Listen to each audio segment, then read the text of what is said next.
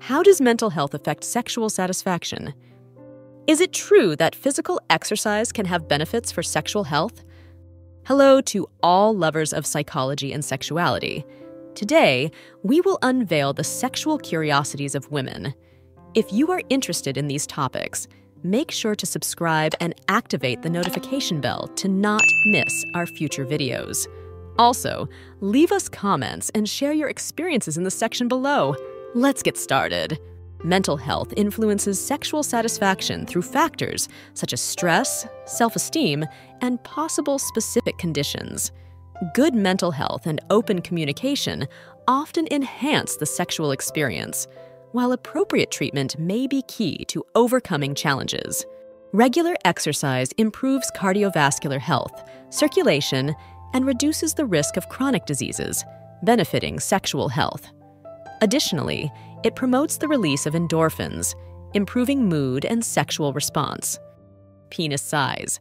Concerns about penis size are common among men, but most women consider size not to be a crucial factor in sexual satisfaction. Communication and emotional connection are often more important. Personalization and adaptation. What works as foreplay can vary significantly from one woman to another, so it's important to adapt to the individual preferences and desires of each couple to create a truly enjoyable and satisfying sexual experience. Physical exercise and erectile function. Regular physical activity and aerobic exercise can improve erectile function by enhancing cardiovascular health and increasing blood flow throughout the body, including the penis. Piercing fetishism. Similar to tattoo fetishism, some individuals experience sexual arousal towards piercings in certain parts of the body, finding piercings erotically appealing. Popularity in erotic literature. The Kama Sutra has inspired a wide range of erotic literature, from novels to poems and essays, which have contributed to keeping its influence alive in contemporary culture.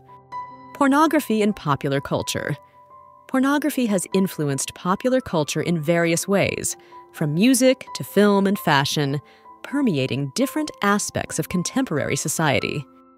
Post orgasm sensitivity. After an orgasm, some women may experience increased sensitivity in erogenous zones, making them more responsive to additional stimulation. Power role fantasies. Some people enjoy sexual fantasies involving power roles, such as boss employee, teacher student, or doctor patient. These fantasies can provide a safe way to explore consensual power exchange in a controlled environment. Prevention and lifestyle.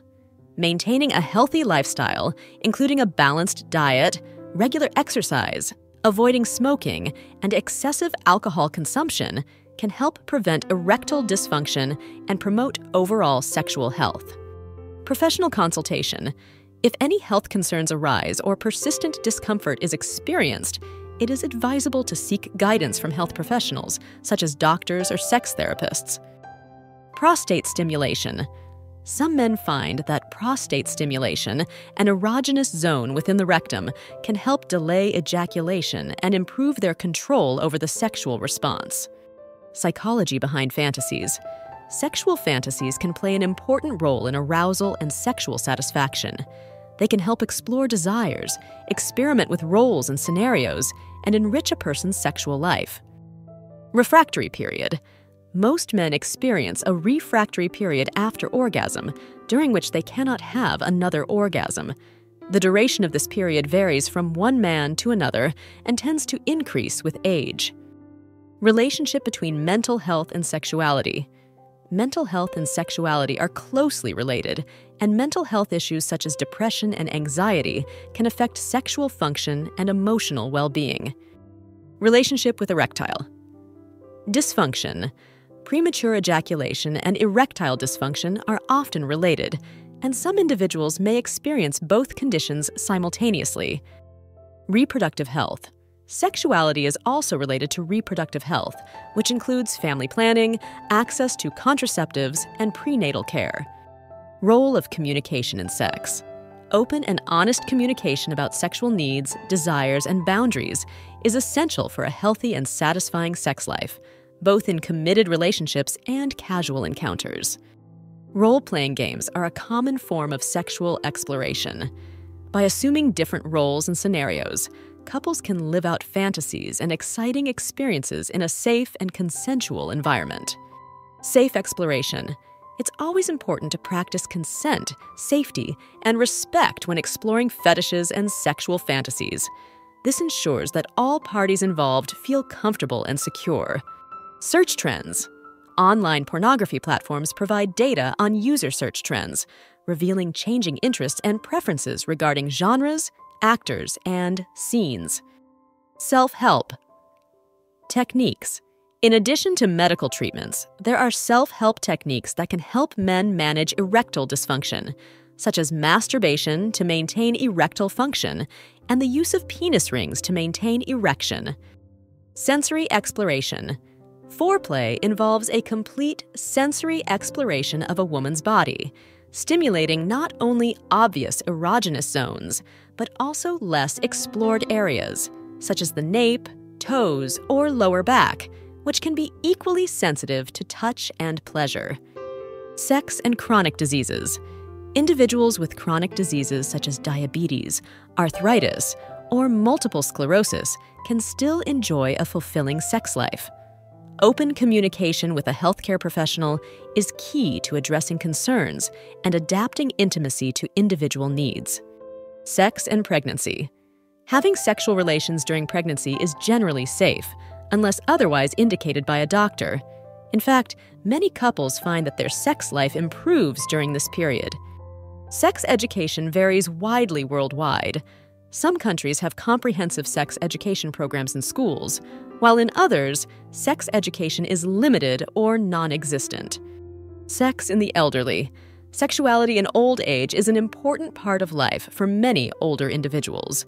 Older couples can continue to enjoy an active and satisfying sex life. Sex toys. Foreplay can involve a variety of sex toys designed specifically to stimulate different areas of the female body, such as vibrators, dildos, Ben Wa balls, and clitoral stimulators. In urban settings in developing countries, sexual and reproductive health clinics run by young people have been established to provide counseling, HIV testing, and distribution of contraceptives tailored to the needs of young populations. Sexual disorders.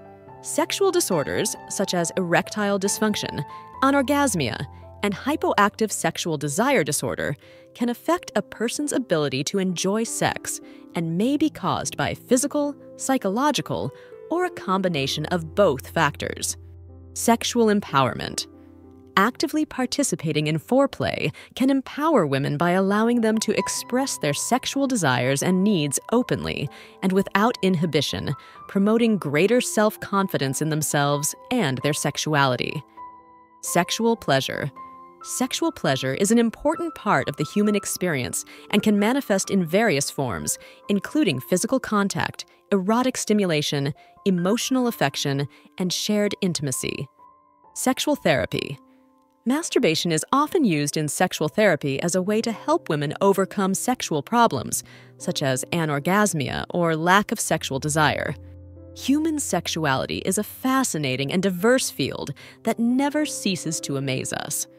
Sexual curiosities unveil the wonderful complexity of the human experience in the intimate realm. As we explore and understand these facts, it is crucial to remember that each individual is unique in their sexual experience. Respecting and communicating with your partner are the keys to a satisfying and healthy sexual life. Sexual education and understanding are essential tools for fully embracing our sexuality